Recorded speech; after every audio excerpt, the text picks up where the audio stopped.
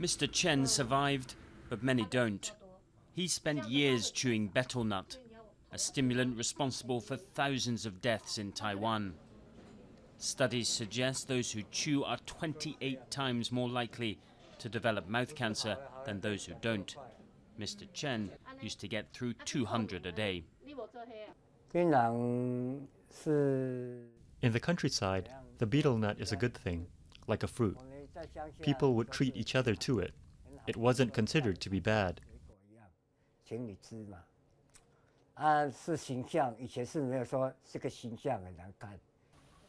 Betel nut being a good thing is an image the government wants to change. There are subsidies to encourage farmers to switch to other crops such as oilseed camellia, a source of cooking oil. But not all are ready to make the change. For the older farmers, you can't harvest the oilseed camellia until after five years, so it's a heavier burden. Cracking the problem is proving hard. In rural areas, growing, harvesting, and chewing the nut is ingrained in society.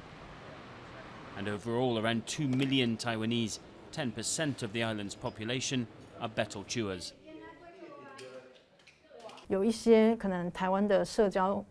In some of Taiwan's social activities or Aboriginal rituals, they're tied to the betel nut.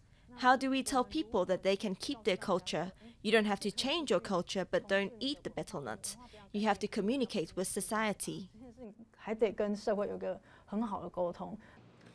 At the heart of the issue is education. Many people here are just unaware of the dangers posed by the unassuming looking nut.